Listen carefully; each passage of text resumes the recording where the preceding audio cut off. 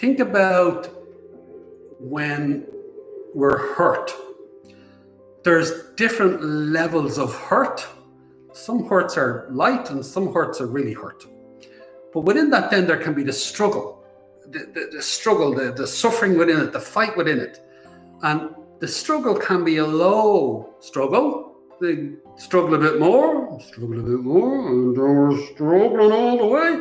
So now that field of struggle is has a range. So there's our little struggles, and then more, more, more, and there's the, the big struggles. So that's the field of charge. That's the, the charge where it's like we, we brace in the body. Uh, we emotionally brace in a feeling, um, or we brace in our mind, and we can bullishly try to be a particular way. We're, we're bracing. That's engaging with the field of charge. And that's what Paul's asking. Uh, yeah, I'm saying the same thing. You, you, you, what I just described, Paul, describes how to disengage from the charge, to, to, to drop the charge. Let me explain it this way. So everybody gets the, the, the field of charge, yeah? So now think about this. On a scale of one, which is a small charge, two, three, how many do you have? And again, some of you might say a lot. Some of you might say, oh, not that much. Generally, it, does, it can be quite a lot for most people. And what I mean by that is think about all the rooms in your life. Think about all the people in your life. Think about all the situations in your life. And then think about all the little things in those rooms, those people, and those situations that bother you, that get in your nerves, that just that you just you just it just bothers you. So all those little there'll be lots of little things, but as you go up to four and five, a little less, but they bother you more. You hit six or seven, there's a little less, but they really piss you off. By the time you're up at seven, eight, and nine, there's even less. But those things aren't funny. Those things you're super serious about. It's like the, these are the things that I'm really struggling with. There's not many, but they take a lot of effort to, to deal with them. So you've got your your your your range uh, in the charge. Okay. So now think about uh, think about a charge of three. So the range of three. One, two, three.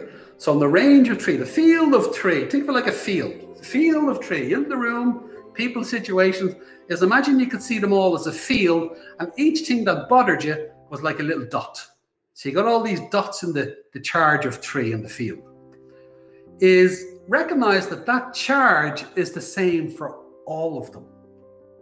So you may have 50 things in that field that bother you, whatever it is, whatever the number is. But the charge, the irritation, the annoyance, the frustration that you feel is the same for all of them.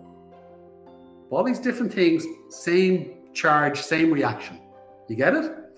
Now, you could go around and you could try and fight and tackle each one of those charges. And you'd bloody exhaust yourself. You're going around all day struggling with them all. You'd just be distracting. What would happen if you come into your center physically, energetically, mentally, and that you begin to drop the charge of three?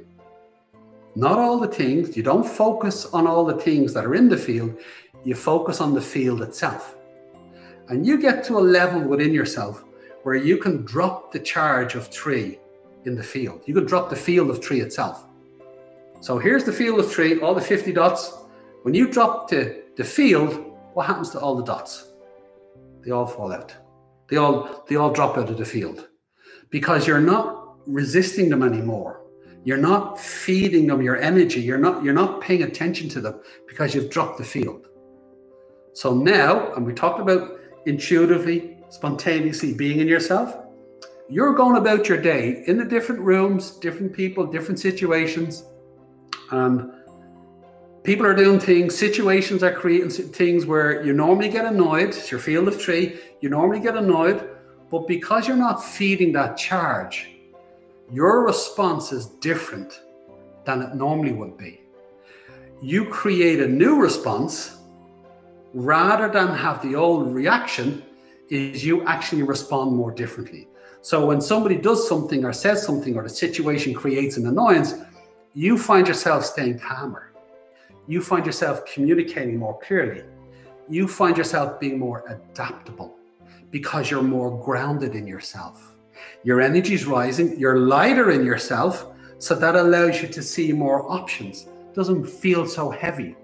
And because of your flexibility in yourself, that gives you more space, that gives you more choices, a physical level, energetic, emotional level, at a mental level.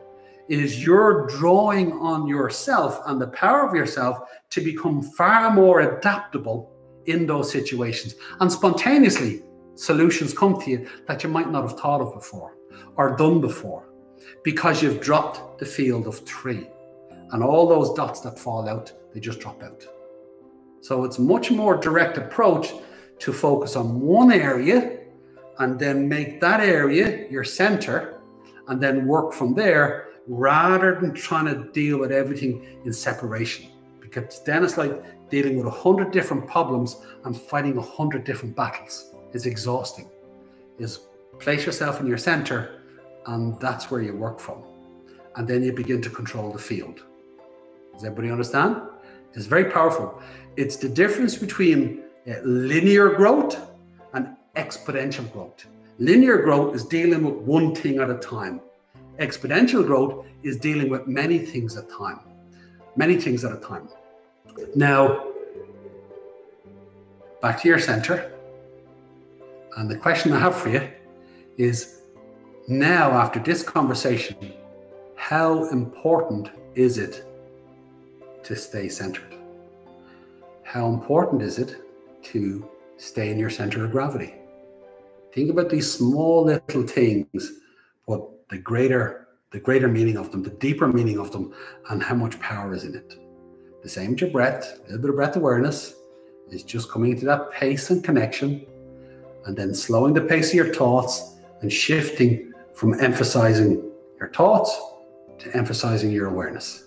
And just grounding yourself into that space more and more and more. And everything i described is will unfold as you go along